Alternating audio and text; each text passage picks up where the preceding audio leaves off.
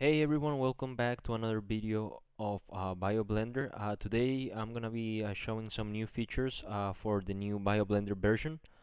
Uh, so uh, the first feature or the first difference from the original version of BioBlender is that I changed the original geometry of the lipids to be to have a curve so, and to be more workable with subdivision surface. So if we look at this, uh, this already has uh, one level subdivision but if I can go back to zero level this is the default.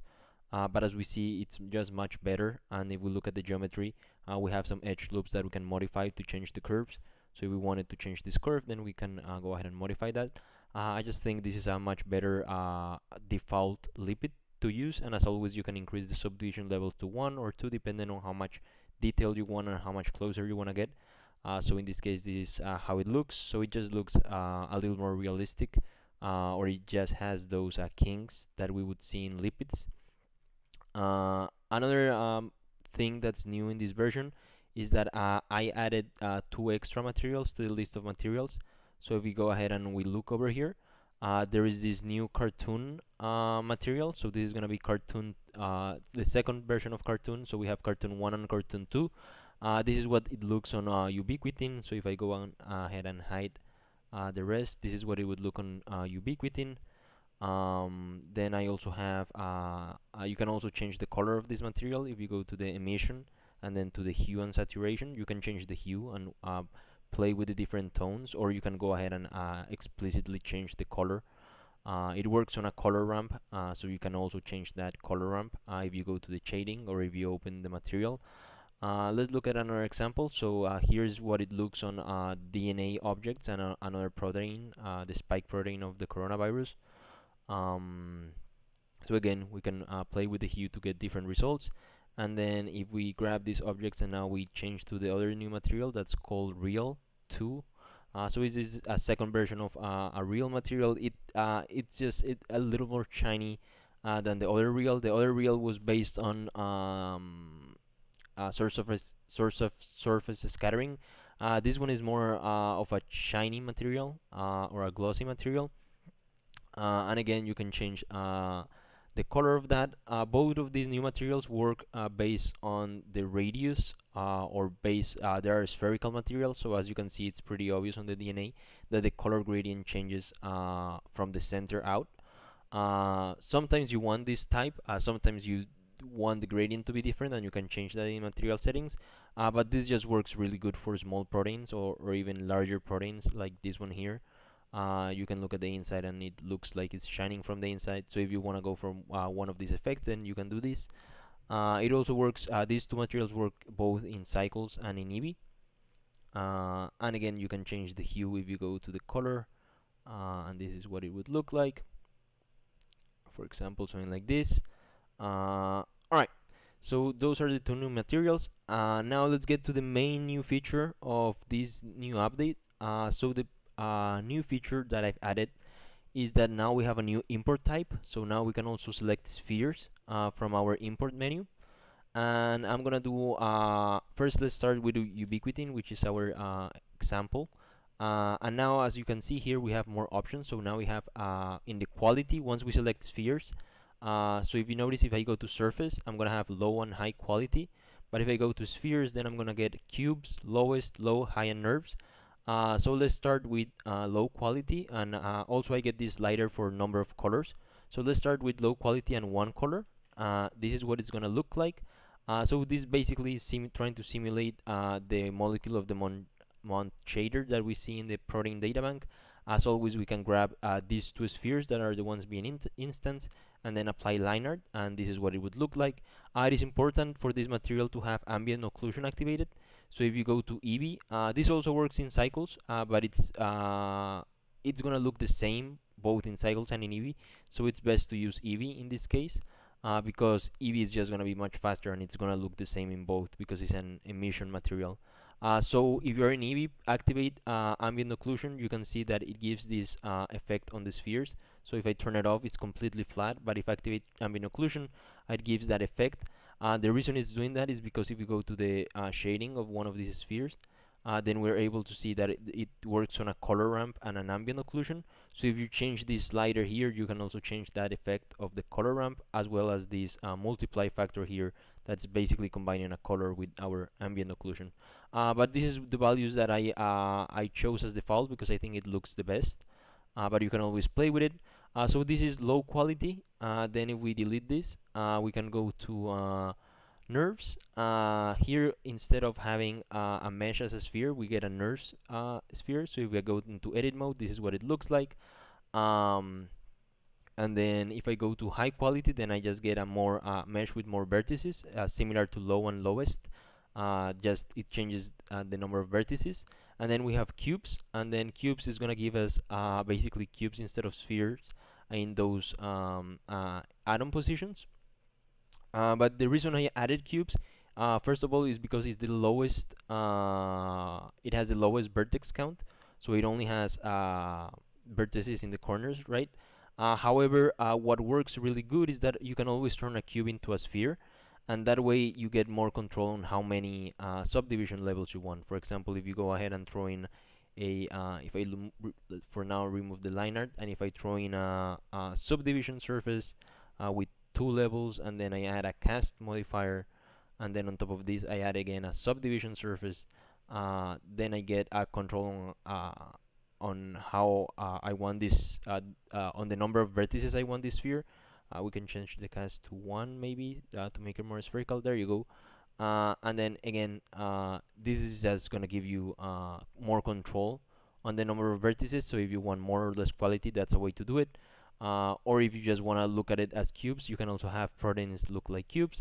Uh, but if you are sure of your quality then you can always pick from here. So if I pick lowest uh, it's gonna bring uh, some a sphere with very few vertices. But if you're gonna be far away it basically looks the same. So if I add a line art basically from up to here it looks the same as at high quality if I get closer then I would want more uh, higher quality or as I said you can always use cubes and modify the quality as you please alright so let's go on to uh, a little more complicated. Uh, so if we go into uh, hemoglobin protein, and for now I'm gonna select one color, and let's go to with low quality from now on.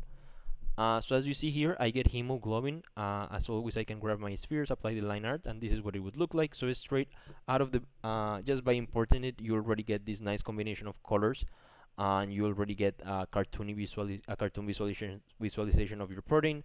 However, let's say uh, you know hemoglobin has four uh, domains or four chains, so maybe you want a different color for each of, of them.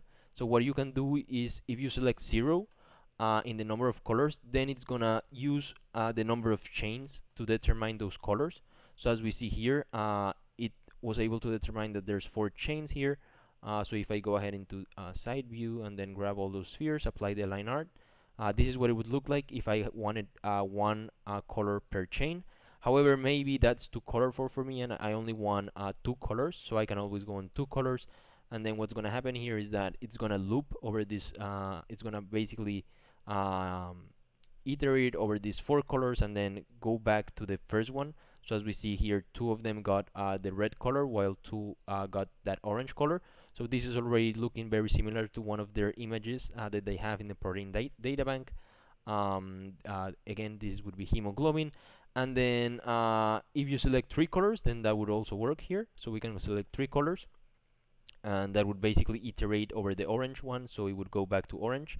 Uh, all these colors are pretty fine. There's up to eight colors uh, default. If you use one more than eight colors, then it iterates over those colors. So it goes back to the first one um, and then there's one uh, final mode that I want to show here so if you go uh, number of colors zero and again import it what's going to happen here oh sorry not not zero but if you go minus one uh, this is the uh, one final trick then it's gonna import everything as gray except for one uh, chain so this can be useful if you want to highlight a, a, specific structure then uh, you can do it this way. Uh, so if you press minus one basically it's gonna have all the chains in one color um, and then one uh, with red. Uh, you can always change the color. So if you say uh, you maybe wanted to change this color so you can always go into the emission and you can change the hue and saturation.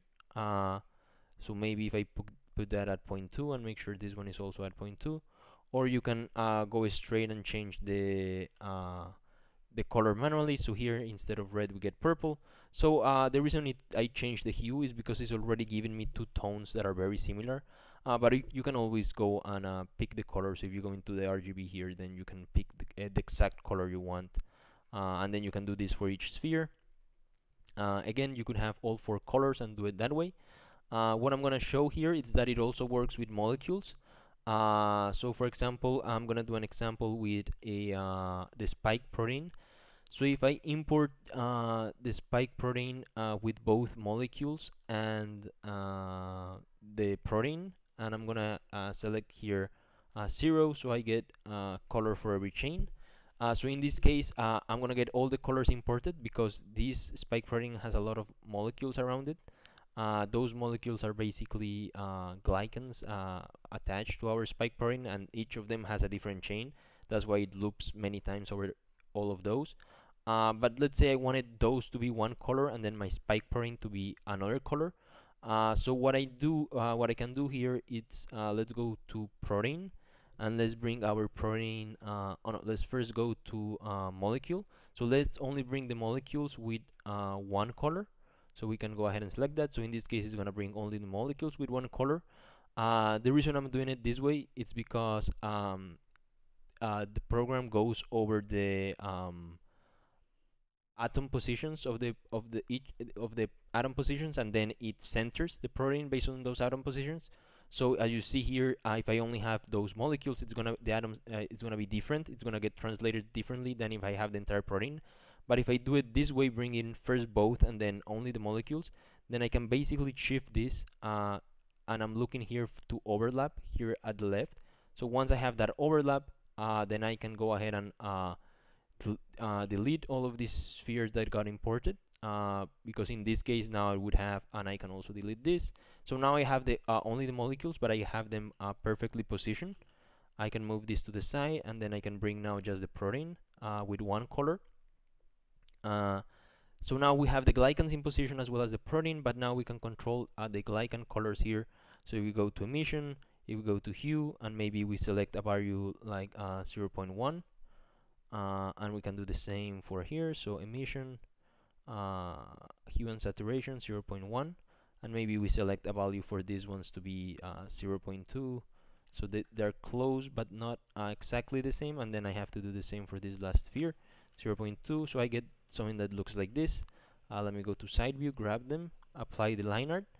Uh, and then the last thing so as you see here I have uh, my spike protein with all those glycans attached and they're in the position uh, that we were able to get when we imported both of them. Uh, however now they are completely distinct objects so that's why that's why we can color them differently this way. Uh, now what the last thing I'm gonna do is grab the ones that are blue and then I'm just gonna go put this emission strength to something like 4 and do the same here emission strength something like 4 it doesn't look like that good but if we activate bloom uh, then we get that uh, something that looks like this. So if I hide I had this hide this then you see uh, I get uh, light coming out of those uh, glycans. So maybe if I want to highlight specific molecules uh, around my protein then this is also a nice way to do it. As you see you get that bloom effect around it. Alright the final thing I'm gonna show it's going to be a how this works with um, DNA uh, so let me go ahead and delete this. Uh, so now I'm gonna work with DNA so I'm gonna do uh, we got DNA as usual here. Uh, now we have uh, a new option here for surface. We have an option for quality so we can do high or low quality now. But the one I want to show now it's gonna be spheres. And then let's do it on a low quality first and let me do it as a free mode so if I go ahead and import DNA uh, then this one looks a little bit different. Uh, this one is colored uh, with um, not only two colors. Uh, it's color each strand is colored differently, and then the phosphates as well as the bases as well as the sugars are colored differently. Uh, so let me just go ahead and apply uh, line art with 0.01. So if I go ahead and do that, this is what DNA would look like. I imported it with low quality uh, low quality, it's basically if you're going to be uh, far away from your uh, DNA or if you're going to have a big structure, then you can really, uh, for performance reasons, you can do, uh, uh, it's easier to import it as a low quality. uh, if if it look if I look at it from this way then uh, it's no different than high quality however performance is gonna be uh, much faster uh, you can even get a little bit close and it looks alright. Uh, if you want to get closer then what you could do is uh, import it as a uh, higher quality. And in this case uh, higher quality we're gonna have a lot of vertices here. So you have to be careful with this because each of these is a sphere. So if we look at the geometry now this is a dense mesh and it's gonna be replicated many times. So you have to be careful here but still uh, for small strands it works perfectly. So if I go ahead and apply the line art uh, and this also works in cycles everything except the line art because the line art uh, always uh, works with thickness. So in this case the line art is not gonna work. But as you see it's it's much slower but still you can work around it. Um, and you see if you can create if you just want small shapes and not entire uh, structures then this works really really good uh, the other thing you can do is uh, do that with RNA so RNA should work the same. Uh, so let's import it in high quality again. And this is what RNA looks like. Um, again you can uh, extrude the curve and play around to make different shapes. Uh, for now I'm gonna show low DNA and maybe I select a pre-selected one. Uh, so I can go always with uh, let's say nucleus 2 uh, and then I can go ahead and hit that and in this case it's gonna follow that predefined curve uh, and in this case is that sphere visualization. We can always grab it and apply the line art uh, to just give it a little more. And this is what it's gonna look like uh, so yeah those that's basically all the new features. The reason I stopped adding features at this point is because uh, Blender is going to change significantly for version 3. Uh, so uh, next uh, version would be coming out once Blender 3 uh, comes out near December. Uh, the reason for that is because the add-on relies on geometry node nodes and that's going to change a lot. So I'm going to have to rework most of the code around that. But uh, however I'll do that and then uh, for version 3 we will have a new uh, working BioBlender and once BioBlender is fully imported into Blender 3 then I will start adding uh, some new features. Um, remember if you want any uh, feature uh, you can uh, join the discord link in the description. Uh, you can also talk to other BioBlender users in that discord or even report bugs. So make sure you join the discord. And that's it for this video and see you next time